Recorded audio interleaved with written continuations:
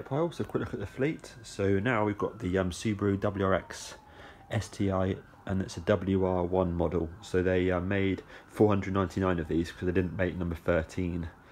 This one has got the um, 555 number plate which signifies the sort of rally, the sort of rally status number plate on it, that's all.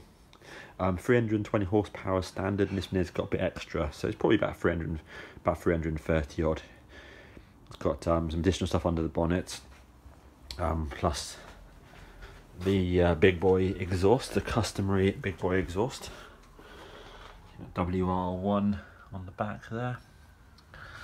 You come back down to here, got this big dog exhaust on it, which is absolutely ridiculously massive and lovely. It sounds absolutely amazing.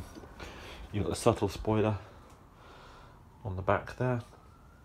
It's all by ProDrive. Um, sensible, so you've got four doors. The button, inside. So you've got uh, the big dog uh, gauges on there. These are STI Janome ones, which are the, apparently the top, the top notch ones on there doing various things. Uh, 95,000 miles on the clock, six speed manual. Uh, it's got the lovely STI interior, it's got like where it's WR1 model, it's got them in got them in sort of in a dark um, sort of dark colour than normal. And um, they're absolutely beautiful those seats. All WR1 mats. The intercooler uh, water sprayer. Under the bonnet. Uh, four-wheel drive. Tons of horsepower. ProDrive uh, 18s on there and then under the bonnet you've got the small under the bonnet quickly my little technique there we are underneath here.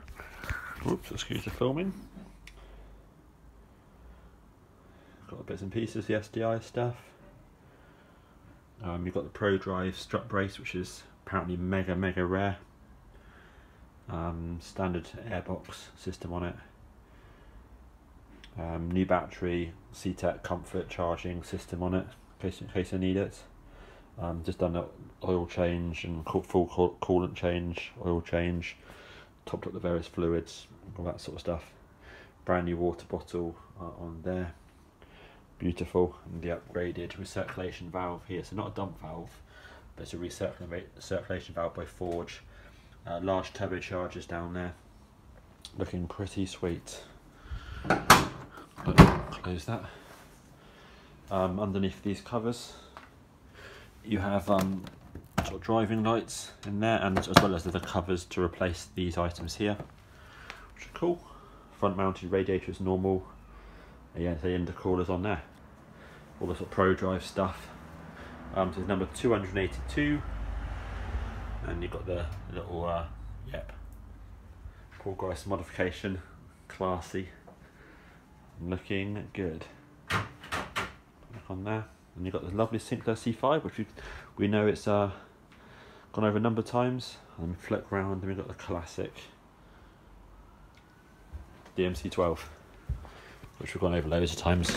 But did a door on that, that's some of that. And I've just taken out the other Fluxy just to charge up. I've got the other Fluxy in the back there looking pretty good, getting it ready for a car show for tomorrow original 1990s Back to the Future cap and yeah, absolutely love, lovely jubbly. So now I've got this car here for weekends. So the bonnet's open there.